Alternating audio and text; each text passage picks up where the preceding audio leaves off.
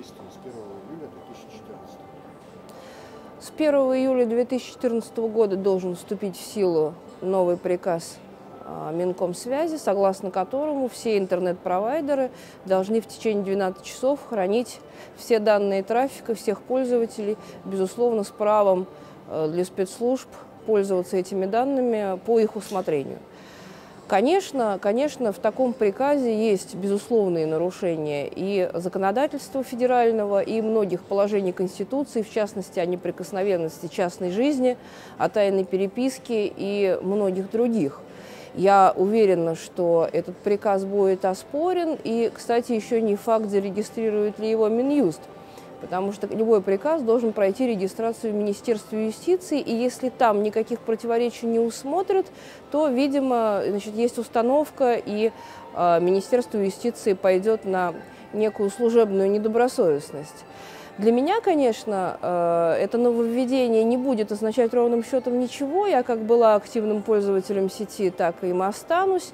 Все мои аккаунты в соцсетях под моей фамилией, ни одного анонимного. В общем-то, я не прячусь. И вся моя переписка, что публичная, что, в общем-то, даже частная. Если кто-то вскроет мою почту и начнет публиковать из нее куски, я, в общем-то, как-то не обеднею, но это я. Вот. А у других э, может быть совершенно иной подход к этой проблеме. Надо сказать, что, э, в принципе, власть де-факто Э, уже давно э, этим всем пользуются, и они хотят это легализовать де юре. Понятно, что спецслужбы так или иначе имеют доступ к любой переписке и к любому трафику. И это было бы оправдано в том случае, если бы у нас было правовое государство, если бы не было нарушений закона в других областях, если бы спецслужбы не шли на эти нарушения закона. Ну вот, например, если бы, допустим, спецслужбы с помощью э, их вот этого доступа к трафику можно было бы превентивно предупреждать какие-нибудь преступления, например. Вот, но этого же нет, мы этого не видим. То есть эффективность спецслужб в любом случае равна нулю. Есть у них доступ к трафику, нет у них доступа. В любом случае это полицейская мера, я, естественно, против этого. Это один из атрибутов полицейского государства.